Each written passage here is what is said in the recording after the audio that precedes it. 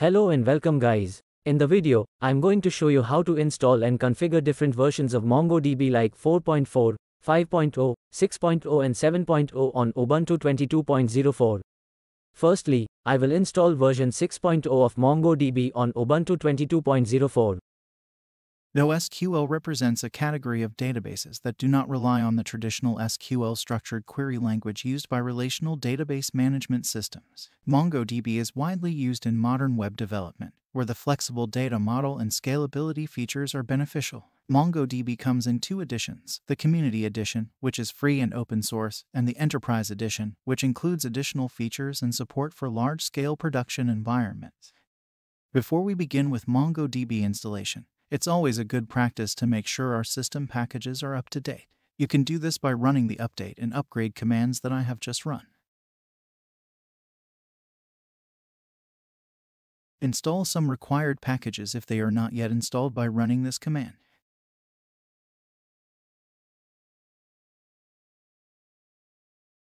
Next add the GPG key. This will be required to check the authenticity of the MongoDB packages we are going to install. Let us now add the repository of MongoDB version 6.0 since it is not available in the default system repository. Update the system again.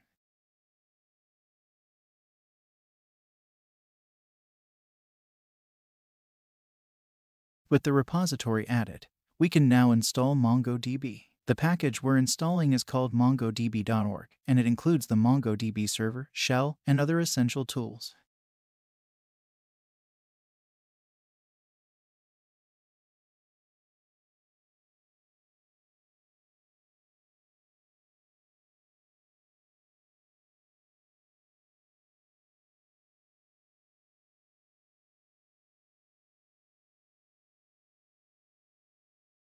After the installation is complete, we need to start the MongoDB service and ensure it starts automatically with the system.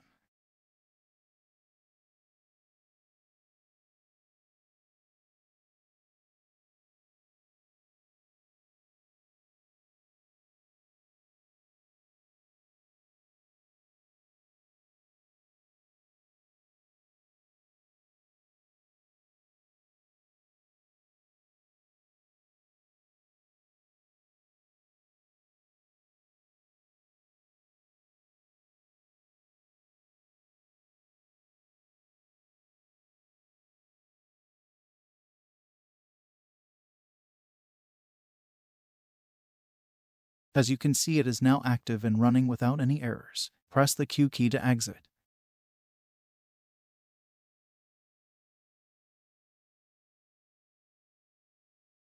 You can check the version you have installed by running this command.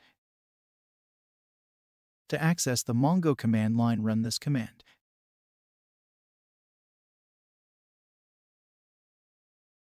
You can administer your database from this shell.